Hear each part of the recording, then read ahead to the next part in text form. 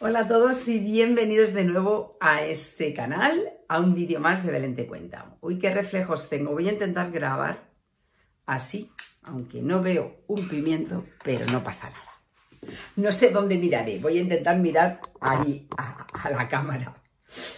Pues muchísimas gracias por estar aquí de nuevo. Quería mm, contaros que ayer fue un día muy especial porque fui a a la televisión, al programa de espejo público. Nunca había estado en plató. La verdad es que, bueno, pues a lo largo de la vida, aunque yo no he sido mucho de ver la televisión, pero estás acostumbrado a ver a gente pues así en tertulias y los ves así en la tele y de repente eres tú la que te ves allí y dices, mm, bueno, pues oye, que mola, que me gustó. me gustó mucho y además me sentí muy cómoda, parecía que llevaba yo ahí toda la vida. En fin, eh, fue, fue una experiencia, eh, fueron súper majos los de espejo público, nos hicieron sentir muy bien. Digo hicieron porque Julia me acompañó, íbamos a ir después a hacer unas compras y, y, entonces pues dijeron que por supuesto que podía entrar conmigo y acompañarme, entonces me acompañó. Y aunque no fue mucho tiempo, porque fueron, bueno, hubo dos veces. es que primero salí y, estuve nada, tres, cuatro, cinco minutos y me despidieron, pero no sé, se ve que es que les gustaría o se quedaron con ganas de más, que ya que nos habíamos salido del edificio, creíamos que ya no que ya se había acabado, pues me llamaron y me dijeron, oye, ¿puedes volver a Plató? Digo, vale, pues vuelvo a Plató. Entonces volví a Plató y, estuve allí otro rato hablando del tema de, de la sobreexposición, de los canales familiares y todo esto. De cómo había metido yo la pata. Y, y a qué reflexión llevo yo, aparte del tema del Sarenting, que ya sabéis que estoy muy concienciada, que, estoy en contra de, sacar a los menores en las redes, pues, pues para hacer negocio, sí, vamos a llamarlo claro.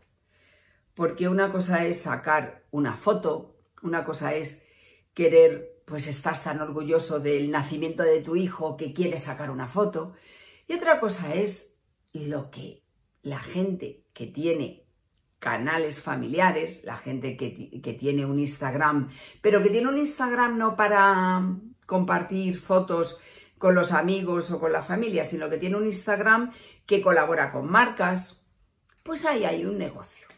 Entonces, bueno, pues aparte de todo eso del tema este, yo luego reflexionando esta mañana, hace un ratito, yo pensaba, qué bien, qué, qué maravilla no sabéis la satisfacción y la tranquilidad y cómo se me ensancha a mí el corazón de saber que he metido la pata, he sabido reconocerlo y, y pongo solución a ello.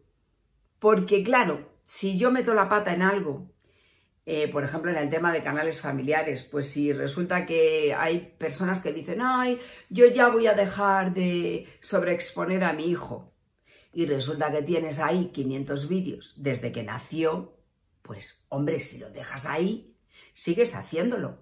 Aunque ya no vuelvas a sobreexponerlo, tus vídeos están ahí públicos. Entonces, bueno, aparte de poner solución y aparte de, intentar hacer las cosas bien, como las estoy haciendo, y me da muchísima tranquilidad, muchísima paz hacerlo, llevándolo a otros, a otros temas, eh, no solamente al tema de, de la sobreexposición, que posiblemente la mayoría de vosotros que me esté escuchando no tiene nada que ver con este tema de sobreexposición, no ha sobreexpuesto a ningún hijo ni nada por el estilo. Pero, ¿sabéis? Esto lo podemos llevar a otros temas. Esto lo podemos llevar a cuando metemos la pata o hemos metido la pata en el pasado en algo. Y normalmente nos cuesta tanto mirarlo porque, a ver, mm, primero porque cuando tú te das cuenta que algo ha sido mm, Iba a decir culpa tuya, pero es que no me gusta utilizar la palabra culpa, porque la palabra culpa la veo muy unida pues a, ay, qué horror, que yo he sido muy mala. No, si yo lo que hice lo hice de buena fe. Si, yo creo que la mayoría de las personas de buena fe que somos, seguro los que estamos en este canal, pues seguro que hemos hecho cosas pensando que lo hacíamos bien hacíamos lo que sentíamos, lo que sabíamos, y hemos hecho cosas con nuestros hijos, con nuestros familiares, con nuestros amigos, con nuestros compañeros del trabajo, con muchas personas o en muchas situaciones que hemos metido la pata, que lo hemos hecho mal, que no pasa nada por reconocerlo. ¿Por qué nos cuesta tanto reconocer que hemos metido la pata? ¿Por qué? ¿Por qué nos cuesta tanto reconocer que estábamos equivocados? Me lo estoy preguntando. y os lo pregunto a vosotros. ¿Por qué? ¿Será porque mm, reconocer que lo hemos hecho mal es como sentir que no valemos, que... Mm, pues que eso, que no somos esas personas que creíamos nosotros que éramos, ese personaje que creemos ser. Y fijaos, es que yo lo veo de otra manera. Para mí, me siento mucho mejor persona, me siento mucho más valorada. A mí, si la gente no me valora, pues allá ellos. Pero yo misma me valoro mucho más yo misma me veo más fuerte, yo misma me veo más mi mejor versión, reconociendo mis errores. esas personas que hablas con ellas, oye, y que no han metido la pata en su vida, que no han cometido ningún error, esas personas que hablas con ellas y parecen llevar la razón en todo. Es que no puedo, de verdad. Pero digo, para mí ¿Eso dice tanto de ellas?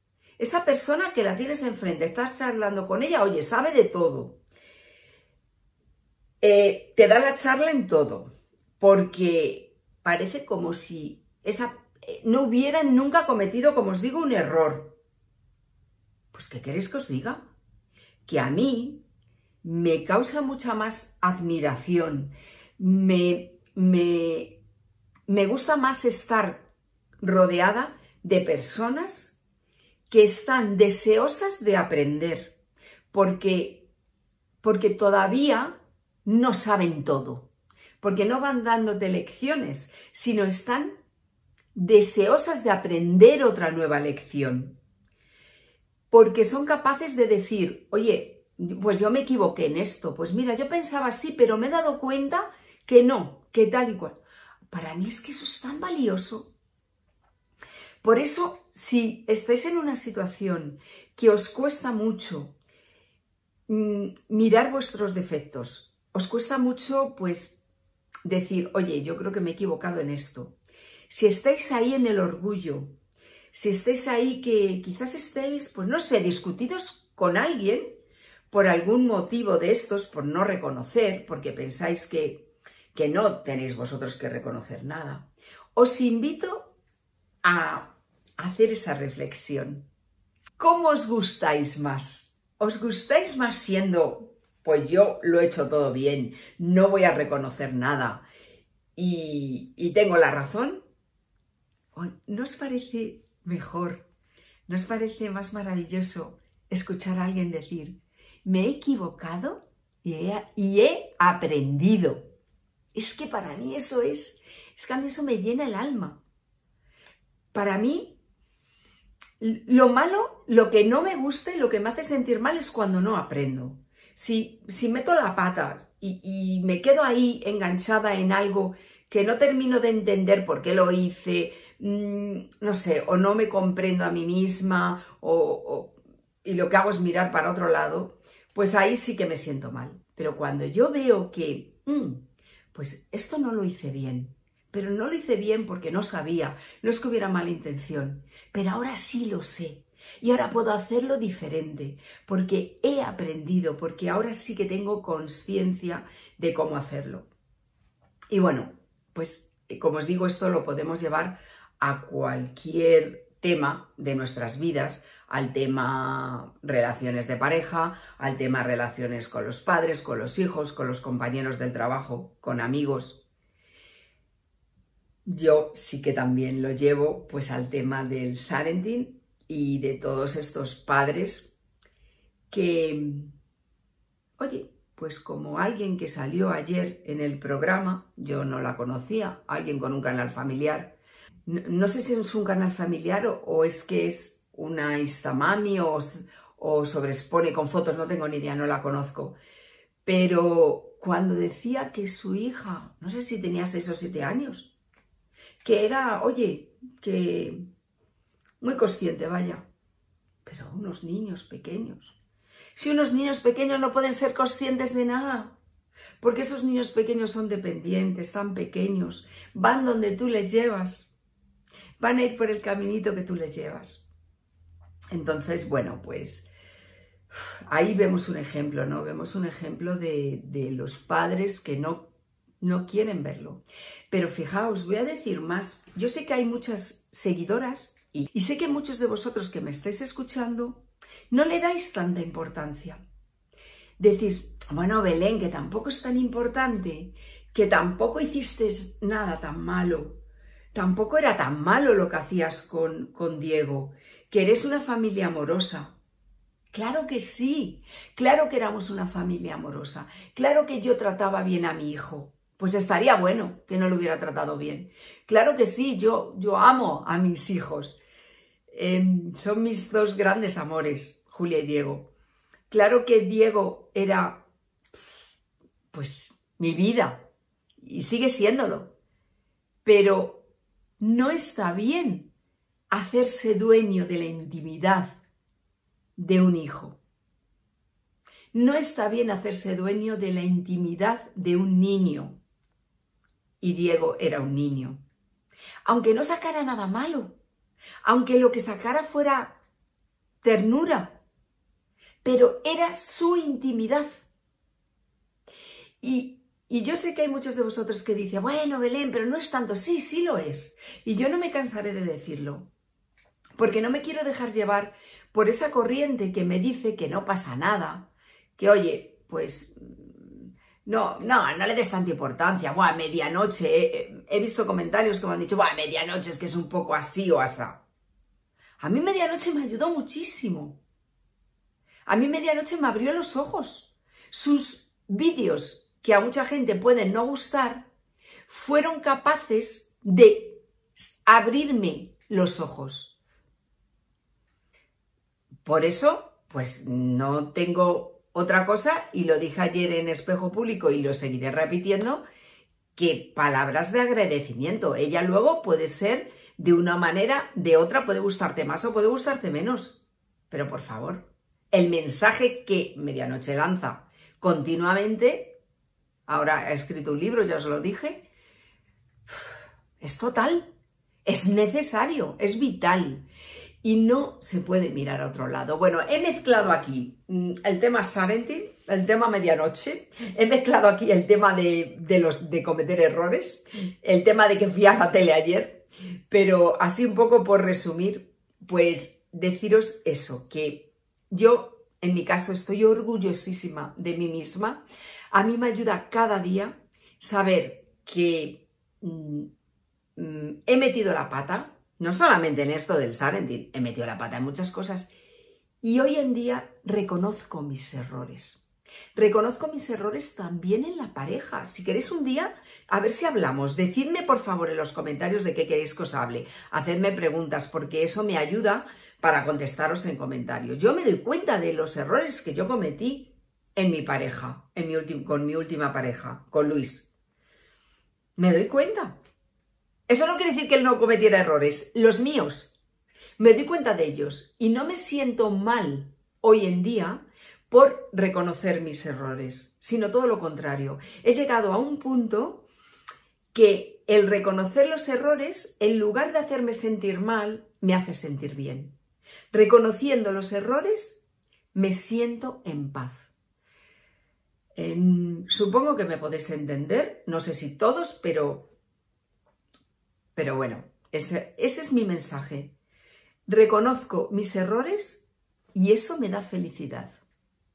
Quizás suene como para mí hacerme responsable de mi vida, hacerme responsable de mis decisiones, poner el foco en mí me da felicidad. Y el mirar para otro lado, el decir, va, esto no tengo nada yo que ver, esto es el otro el que lo está haciendo mal y tal, esto es tal, eso es lo que me quita la paz. Bueno, ya no me enrollo más. Mm, os deseo feliz día, eh, feliz semana. Si tengo tiempo y puedo, esta semana eh, subo otro vídeo durante la semana, no lo sé. Es que me apetece mucho, estoy en un punto de que me apetece mucho compartir, mm, pero bueno, a veces tampoco tengo la oportunidad, entonces eh, ya veré, ya veré si encuentro momentos para subir más vídeos. Os quiero mucho, muchísimas gracias por estar ahí, muchísimas gracias de corazón por vuestro apoyo y nos vemos muy pronto en otro vídeo. Adiós.